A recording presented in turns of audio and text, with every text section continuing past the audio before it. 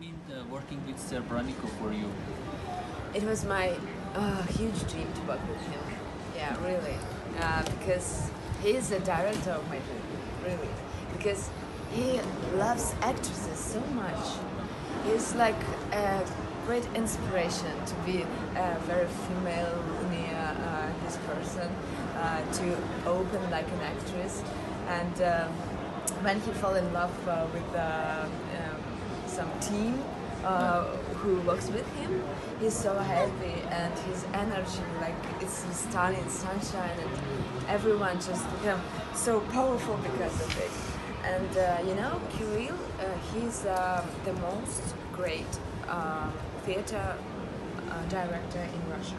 Really, everybody wants to work in his theater. And uh, as uh, I am actress without uh, any profession, no, I have a profession. I'm a journalist first, you know, this strange fact. But uh, for me, it's a great experience because I always wanted to go to the theater. So he invited me now after the film. Yeah, and now I'm uh, rehearsing the uh, Odyssey by Gomer. Uh, but it's uh, very our days, very special, like uh, very art. Not uh, Kirill's, uh, of course, direction. It's Sasha Kuznetsov who played in our film uh, Skeptic character. He's the director of the performance. And uh, so Kirill, if he loved somebody, he will never give up. And uh, I am very full of respect for um, the actions like that. Yeah. So when uh, my agent just told me that Kirill wants me to cast, oh my god, I was jumping around the house and uh, I just couldn't believe that it's true because this is the person who recognizes only art and everything he don't care, he doesn't care. So. And uh, if somebody will just be like, no, you shouldn't do that, you shouldn't do that. Said, uh, no, I don't care, I will do that because I feel that it's true, you know? And he's so like master of freedom, revolution, and for me, it's the most beautiful days in my life to work with him. What was your reaction when you first read the script? I was crying because uh, it's many reasons actually. At first, I just uh, imagined in my mind how it should be with the Kirill, the script with Kirill, black and white. I adore like uh, Bergman and Antonioni, and, like it's uh, very close-ups, uh, black and white close-ups. I just saw it and uh, I, I said, oh my god, it's a film of my dream. I just like a Sophie soul will be uh, walking and acting. Oh my god! And I knew that uh, he, um, like a person of atmosphere, and he will like give it to everybody in uh, this on the set and outside of the set. You know, I like that uh, the work never stops. He works like 25 year, uh, 25 hours in a day, and uh, when we left the set the work was going, still going, and uh, so it was a great experience, really. And uh, when we talk about Antonioni and Bergman and Black and White, Jules and Jim came to your mind because Jules and Jim has also the same kind Yes, yes, but you know, I don't know. I, I, I um, knew that it wouldn't be like the same of some film. I knew that Kirill is like very um, self-made and he's an art who will create something very new. But he, he, when we were discussing the screen, discussing the film, when I just told him about Jean-Luc and uh, the, the films that I'm uh, adore and that I'm um, inspired of, he said, exactly, that's right, my girl, I love it, yeah, sure, yeah, you are my man. so he was glad that we were speaking in one language. And uh, of course, script was full of. Uh,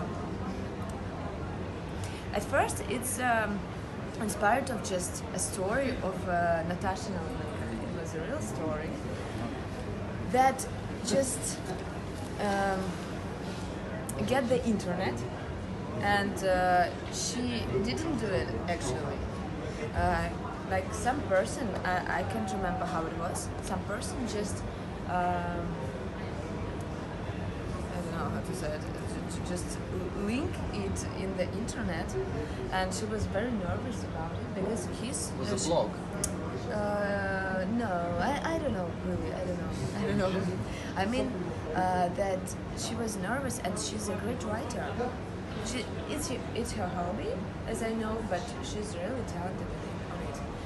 And um, uh, when I at first uh, read the script, I realized that it's based on a real story. So um, I began to find it on the internet, and when I read it, it was so truly so simple, and you know I love I love simple stories.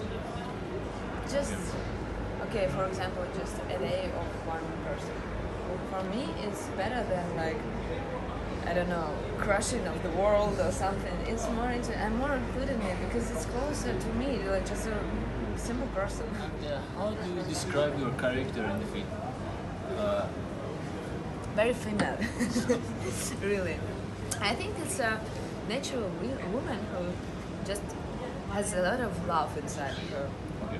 and that's why um, I can say that it's not a problem that he fell in love with uh, Victor because she was so honest with uh, Mike.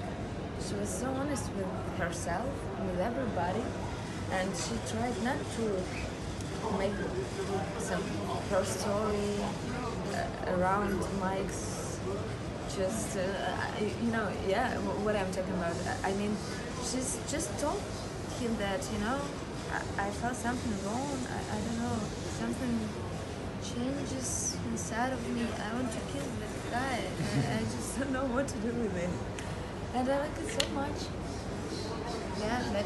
she was so honest and clear and so pure And how is the experience of being here without the presence of the director? I'm so proud of you. And I'm so glad that I'm very happy. It means that the most greatest really festival in the world needs his art. And um, I'm so calm about it now because every artist needs to realize that he don't just doesn't just live for himself. He wants to share his art for everybody, and here is a great holiday. for me. like I, I, I mean, it's something that I can describe because I, I feel myself like I'm dreaming. I'm so missing Kirill, uh, really. I, I so wish he was here and just hold my hand and I, I want to hug him and say, oh my God, from the deep of my heart, I, I, I so congratulate I, I love you. Thank you for uh, this opportunity for us here because it's not very like everyday thing. yeah. So I'm proud of him, really proud. Yeah, he saw me at the film. really? Yeah. It was. Uh, I wasn't shock because it's very commercial film. film? Okay. It's another character at all, yeah? Yeah, yeah. Yeah, absolutely another character. And uh, when he said to me, you know, when I saw attraction, I just realized that I need you. What? Uh, you know, one thing uh, that art directors, um, as usual, they are mm, a little bit scared about some actresses from sci-fi movies and commercial movies because they want um, somebody very special and like virgin in it. Really, like it will be her first film. Yeah, it will be very strange are, and we will work with it. But does working in a But he he don't care at all. He's okay. Let's experiment. Eh, yeah, let's do another thing. so he himself uh, contacted you or he, invited you He for invited me for the casting, yeah, and Okay. we made one scene, and everybody was so happy, and he just hugged me with the aroma and said, "Oh my God, guys, I love you!" And I thought it's a good thing. yeah, I was so happy. yeah, he's full of love, really, and Okay. And are there specific moments from the film or the casting process that you remember, or the whole yeah, experience? you know, it was shooting? like six thousand Victor Tsois with me on our auditions because uh, at first we had uh, our casting with uh, my husband uh, Zver uh, as well uh, Roma, Roman. and after that uh, Kirill started to find some Victor Tsoi and I swear I have never seen so many guys in uh, fake hairs like with the guitar and Rema used to do every time, every time. Uh, the song was like, uh, um, I can, okay, it doesn't matter. It was like one song, who, uh, and just like ten minutes, ten minutes, ten minutes, ten minutes, and everybody just trying to uh, sing it, just trying to um, figure out how it was like a Victor. So it's very. Mm, difficult to create Victor Tsoi, like Neminez, because it was a huge figure. It was a uh, king of Russian rock, you know. And uh, so, after like few months, uh, Kirill told, so I'm off, really. You know, the person who we like want to make, he, he to make, he he's died. What we are doing? Let's create here. That's why we have one Victor with three Victor inside. You know, and we have voice because uh, we Yes, have uh. Karina Aktoria who, who just uh, knew about Russians uh, like uh, in the three weeks ago. wow, cool, Victor Tsoi. So, oh my God, uh, thousands of songs and uh, language. It was very uh, difficult for him, and I'm proud of him because every time we just uh, left the set and go to the bars and spend time together because Kirill wanted me, we uh, be on touch uh, every time. Uh, he wanted to feel the energy through the screen that we are together, that we are friends, that uh, we just I can touch you and I can say something to you like my eyes. Uh, so and Teo, every time Teo was just left us and said, "So now I gotta go to scene for tomorrow. I need to learn Russian. So have a nice time, guys. Good night." and he just came out like um, in the end of the shooting, like, "Oh my God, let's drink." Oh, I'm so tired. My head just. yeah. As you, as you mentioned, uh, there are lots of long takes or long s- sequence Oh, yeah, shot sorry. in the films. And uh, how was the process for preparing for these scenes? Uh, Did you uh, Rehearse? rehearse your ears? Uh, so uh, I began to say that Kirill is the greatest uh, theater director, and I didn't tell that. He loves rehearsing, but you know sometimes uh, actors like me uh, doesn't like rehearse so many times because improvisation is just so fun. You just can do everything, but when you do um, one scene time to time, time to time, you're tired a little bit about it, yeah. But he's so full of energy and his inspiration is inside you. So every time when you are starting to rehearse something, you are in and you begin to be better and better and better and better. So how um, we um, ended our film, uh, the whole scenes that we shot without him, uh, we were rehearsing with him. That's why we have the material now. Okay.